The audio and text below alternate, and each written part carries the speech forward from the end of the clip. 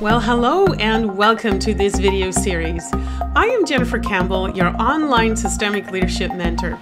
And in this short video series, I want to share with you my learning and experience during a course in the city of York in England, which is all about applying the system centered training approach in the workplace and in everyday life.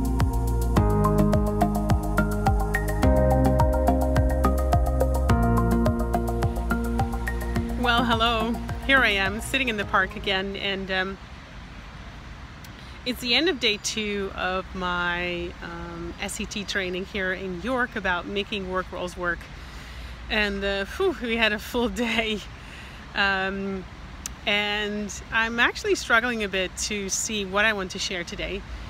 Um, so I took up my notebook and I'm having a peek at um, what I find most important for today. And um, yeah, we talked quite a bit about um, goal, role, and context.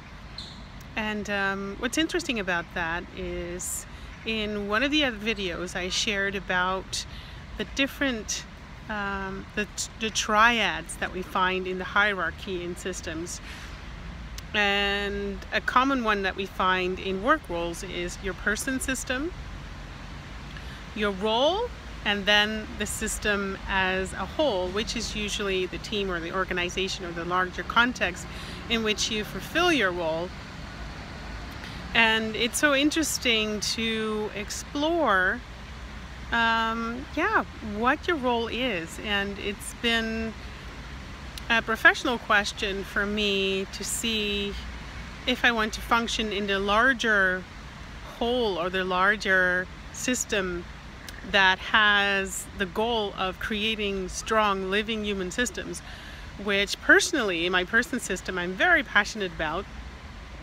Um, and that I'm exploring which roles I can pick up and one of the roles is to create videos and be a, a, a messenger or a, a, person who creates these videos and shares her learning, um, hoping that it will cross a boundary for people who are actually watching to also create uh, stronger living human systems or pick up roles that um, that actually support that or do that.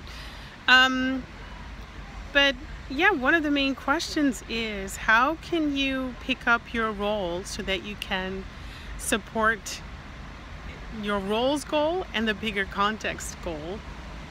And how can you fuel your personal energy into the role so that you can fulfill it better? And what we also explored today is what are driving or restraining forces in picking up your role? Now, what's that?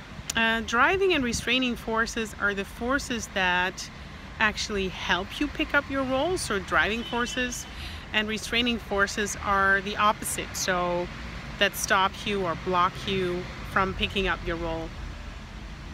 And um, I found it interesting to explore that in all the different settings that we had today whether it was with two other members in a small triad where we had the exercise of being in the roles of a consultant, a client, and an observer and have a conversation about restraining and driving forces or whether it's about the group that um, we work with in this course context where we are doing um, the SCT's functional subgrouping and to see how can I pick up a role as a member in the group um, or even in a larger group where everyone who's doing all the courses come together and sit in a large group and then become a member of this large group and contribute from that role.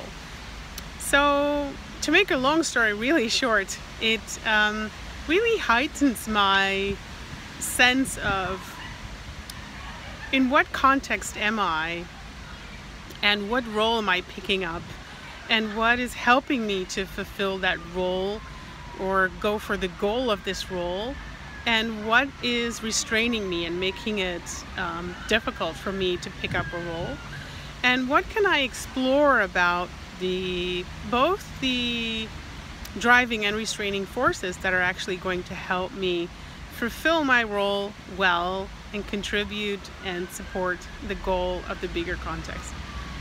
So it's a whole mouthful, but that about goal, role, and context uh, for today. There's more to share, and I'll uh, probably record another video about another topic of today. So very full day, but this is about roles and driving and restraining forces. So thanks so much for watching in this part. If you want to be notified to see when another video becomes available, then please subscribe to my YouTube channel so that you can be notified. So thanks so much for watching. See you in the next video. Take care.